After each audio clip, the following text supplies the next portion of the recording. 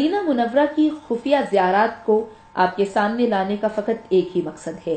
مدینہ منورہ میں بسنے والے مومنین حکومتی نا انصافیوں سے بہت تنگ ہیں اور کم دستی کے باعث ان خفیہ زیارات کی حفاظت مجبوراً نہیں کر پا رہے۔ ان میں سے ایک مرد مومن نے اپنی شناخت نہ ظاہر کرانے کے عہد پہ ہمیں یہ زیارات کروائی تاکہ دنیا بھر کے تمام محبان اہل بیت علیہ السلام کو یہ احساس دلایا جائے کہ وہ مدینے میں ان زیارات مقدسہ کے تحفظ کے لیے اپنا کردار ادا کریں، ورنہ امام زمانہ اجل اللہ فرجہم کو وہ خود جواب دہ ہوں گے۔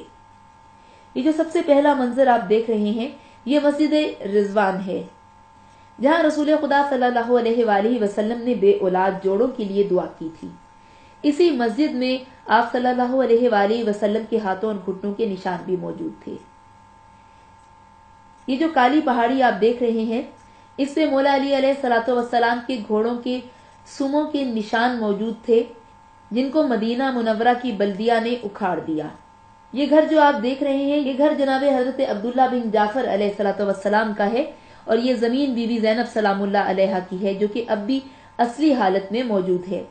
یہ گھر چودہ سو سال پرانا ہے اور وہ سامنے جو آپ کو کنواں دکھائی دے رہا ہے یہ وہ کنواں ہے کہ جہاں سے آل رسول صلی اللہ علیہ وآلہ وسلم یہاں سے پانی پیا کرتے تھے۔ یہ چوبارہ جو آپ کو نظر آ رہا ہے، یہ رسول خدا صلی اللہ علیہ وآلہ وسلم کے ٹائم کا چوبارہ ہے۔ اب یہ جو گلیاں آپ دیکھ رہے ہیں، اکثر بی بی کے بچے یہاں کھیلا کرتے تھے۔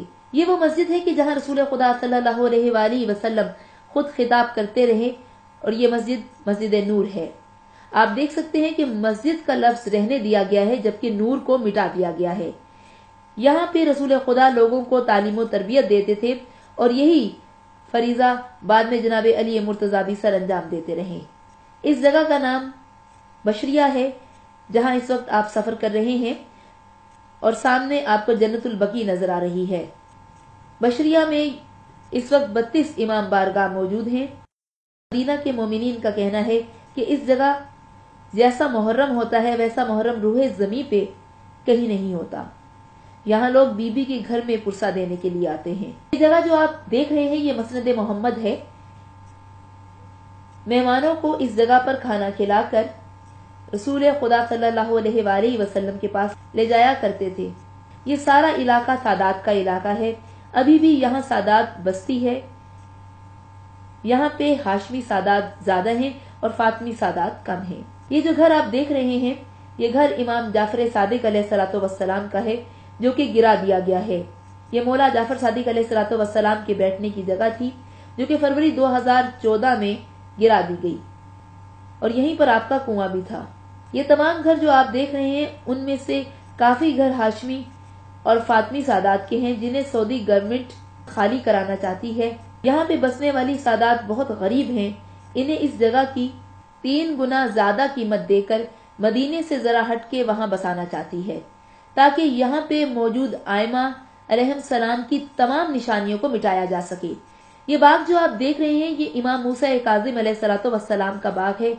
اور اس جگہ امام موسیٰ کاظم علیہ السلاۃ وسلام کا وہ کنواں بھی آپ کو دکھائی دے رہا ہے کہ جو کہ ان کے استعمال میں ہوا کرتا تھا۔ یہ جو کالے کالے پتھر آپ کو نظر آ رہے ہیں، یہی مولا امام موسیٰ کاظم علیہ السلاۃ وسلام کے گھر کی باقیات ہیں۔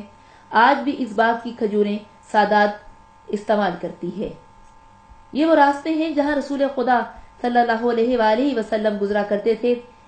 اور اسی جگہ پہ زوجہ رسول بی بی ماریا کپتیا کا بھی گھر ہے۔ اور ساتویں امام امام موسیٰ کاظم علیہ السلاۃ وسلام کی زوجہ بی بی نجمہ خاتون مادر امام رضا علیہ السلاۃ وسلام کی قبریں بھی موجود ہیں۔ یہ جو آپ راستے دیکھ رہے ہیں، یہاں سٹریٹ لائٹس بھی نہیں ہیں۔ آج اکیسویں صدی میں بھی ان سڑکوں پر کوئی لائٹ موجود نہیں کیونکہ یہ راستے مدینے میں بسنے والی سادات کے گھروں کو جاتے ہیں۔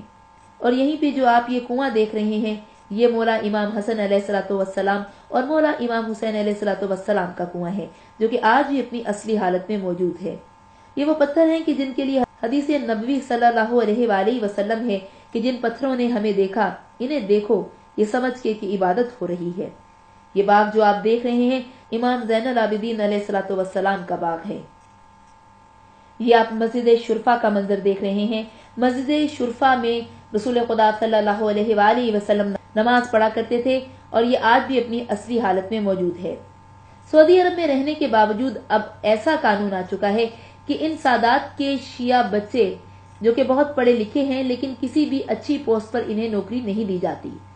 ان کے بچے آج بھی بڑے بڑے ہوٹلوں میں گیٹ کیپرز کی نوکریاں سر انجام دے رہے ہیں اور اسی مرد مومن نے ہمیں مزید بتایا کہ ایک ایسا بھی قانون یہاں پر متعارف کروایا جا رہا ہے۔ اب ان نوجوانوں کی شرٹس پر شیعہ لکھا ہوگا۔ اب جس مقام سے آپ گزر رہے ہیں، یہاں پہ سب بلالی بستے ہیں۔ یہ محلہ حضرت بلال حبشی کا محلہ کہلاتا ہے کہ جہاں پر آج بھی ان کی اولادیں بستی ہیں اور ان کے بارے میں مشہور ہے کہ مدینے میں ان جیسے مولا کے ماتمی شاعری کہیں اور ہوں۔ یہ جو منظر آپ دیکھ رہے ہیں یہ کائنات کی بہت بڑی جگہ ہے۔ یہ سامنے والا گھر مولا سجاد علیہ صلاح وسلام کا ہے کہ جب آپ کربلا سے واپس آئے تو یہ آپ کے بیٹھنے کی جگہ تھی۔ ایک آپ کے رونے کی جگہ ہے جسے بیت الحزن امام سجاد علیہ السلام کہتے ہیں۔ یہ جگہ آپ کے بیٹھنے کی جگہ ہے کہ جب مولا کربلا سے واپس آئے تو اس گھر میں مولا کو رکھا گیا کہ جس کے بارے میں امام سجاد علیہ السلام نے یہ کہا کہ کیا اب بھی میری قید ختم نہیں ہوئی؟